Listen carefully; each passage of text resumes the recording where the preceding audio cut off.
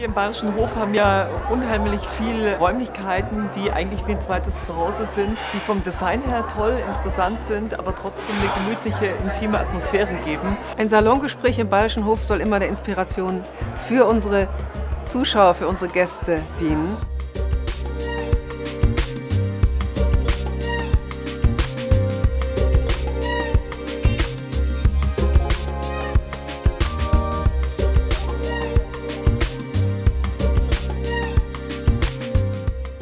Also Charisma aus dem Griechischen heißt Gnadengabe. Also von den Göttern gegeben. Kann man das lernen? Das ist die große Frage. Wir haben zwei Gäste, die natürlich, wie es bei uns üblich ist, aus ganz unterschiedlichen Bereichen kommen. Sie ist Diplombiologin, Dozentin an der Universität der Bundeswehr in München, aber ihr Hauptjob ist äh, zum einen Führungskräftecoach und zum anderen Keynote-Speakerin und Buchautorin, Frau Dr. Barbara Niedner. Und er hat mit einem Schauspiellehrer zusammen eine Technik entwickelt zur Persönlichkeitsentwicklung von Führungskräften. Und heute ist er Futurologe Max Tinius. Bitte schön.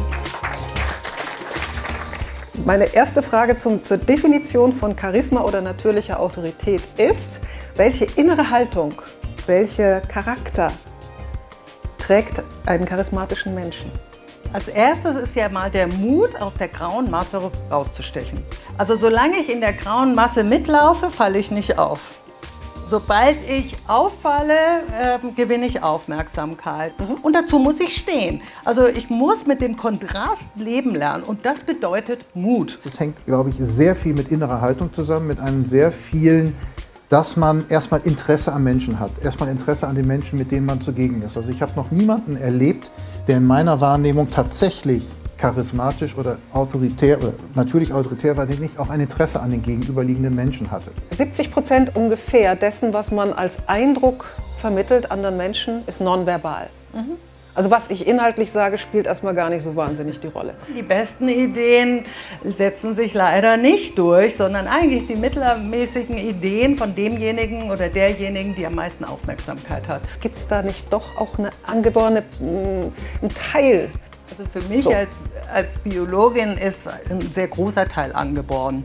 Ähm, das heißt also, es gibt ein gewisses Potenzial, was bei jedem inne ist. Es gibt Menschen, die sind sehr ruhig, sehr in sich getragen, die sind sehr wertvoll, aber die sind nicht Menschen, die was vorantreiben. Ich glaube auch, man kann es dennoch lernen. Und ich habe fast vier Jahre lang Schauspielunterricht gehabt. Damals, als ich einstieg, ging es um das Thema Sprechen und wie kannst du eigentlich mit deiner Sprache modulieren und bestimmte Charakterzüge darstellen.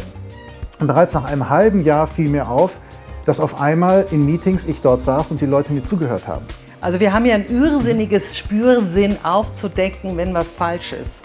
Und wenn das nicht stimmt und das Technik nur draufgesetzt ist, dann spüren wir, dass da irgendeine Diskrepanz da ist. Wir können das nicht äußern, aber wir spüren, dass was nicht stimmt. Also jeder Mensch, der nicht authentisch das macht, wie er ist, wird das nie so rüberbringen.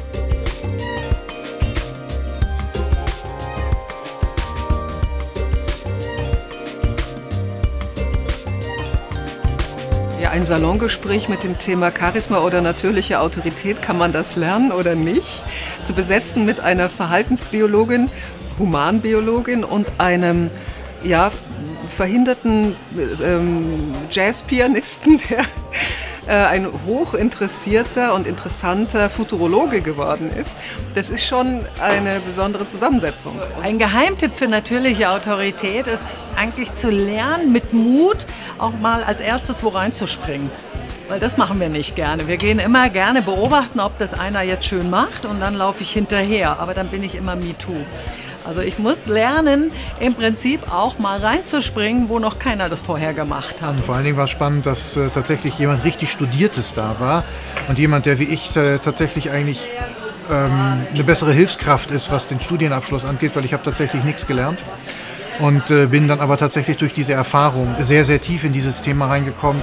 Also ich fand die Gesprächsrunde wirklich sehr interessant. Es waren zwei unterschiedliche Ansätze und Persönlichkeiten und ich finde, durch das hat man echt also einen rundum Eindruck bekommen über das Thema.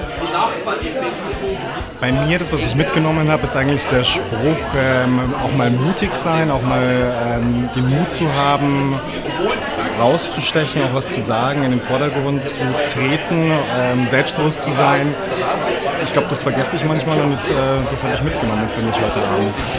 Ich weiß gar nicht, ob es so dual war oder so gegensätzlich, weil ja am Ende doch beide jetzt im Coaching, der Weiterbildung, in der Begleitung von Menschen auch tätig sind. Ja, ich glaube, es sind unterschiedliche Herangehensweisen und das war schon spannend und ähm, ich glaube, so inhaltlich auseinander waren sie, glaube ich, gar nicht, sondern die Frage, wo komme ich her, wo will ich hin, hat beide auf einen Weg gebracht und äh, insofern waren die Gespräche einfach inspirierend.